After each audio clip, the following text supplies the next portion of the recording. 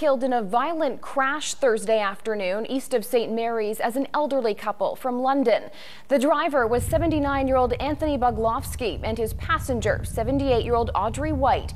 Police say the Ford Taurus they were riding in was heading north from Oxford Road 119 onto Perth Road 118 when it appears they went through a stop sign and entered into the path of a truck traveling west on Highway 7. The truck driver was not injured. People in a Cambridge neighborhood are feeling a little nervous